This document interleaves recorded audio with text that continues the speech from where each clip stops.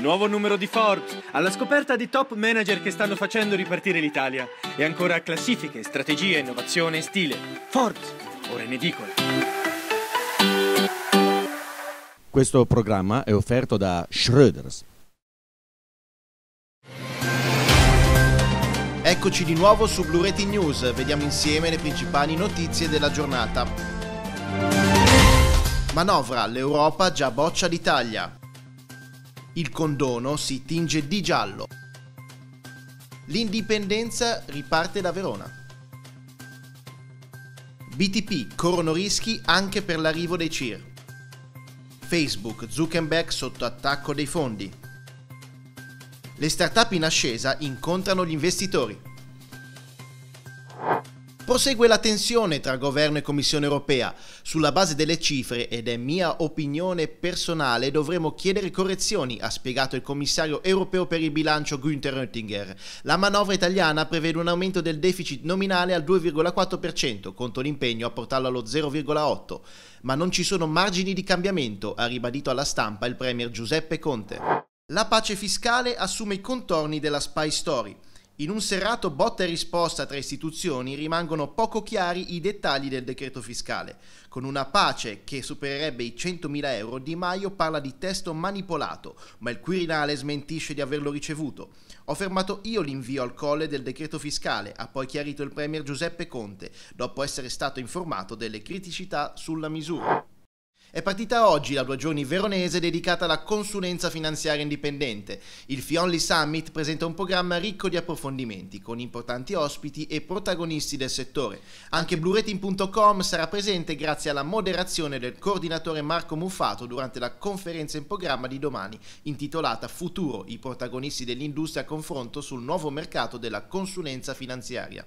Ennesimo allarme rosso per i titoli di Stato italiani. Dopo la pressione dello spread, un nuovo elemento potrebbe stressare i BTP. Si tratta dei conti individuali di risparmio che il governo vorrebbe introdurre con il decreto fiscale.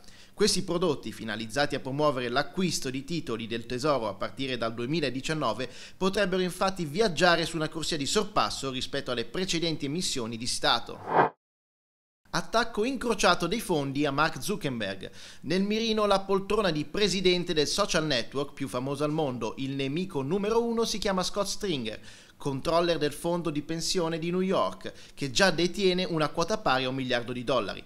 La prima spallata era arrivata ad aprile dopo il caso Cambridge Analytica, ma il vero attacco potrebbe arrivare tra poco con altri fondi pensione pronti a unirsi all'offensiva.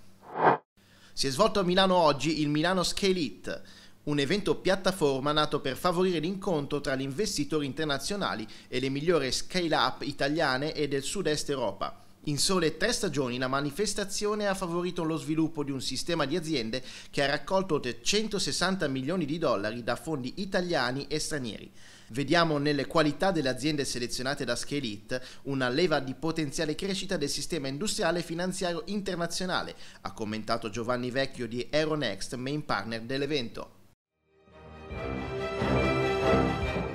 È tempo di dedicarci al consiglio del giorno proposto da finanzaoperativa.com.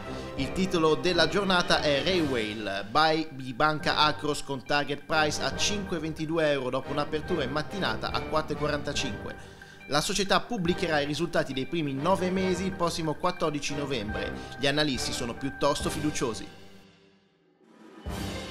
Ecco infine la migliore e la peggiore performance nella categoria dei fondi comuni aperti retail quotati in Italia sulla base dell'ultima rilevazione disponibile del NAV.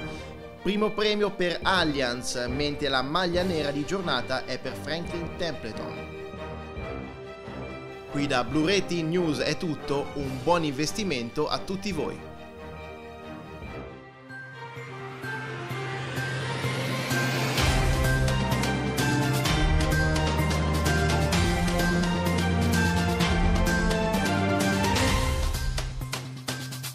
Questo programma è offerto da Schröders.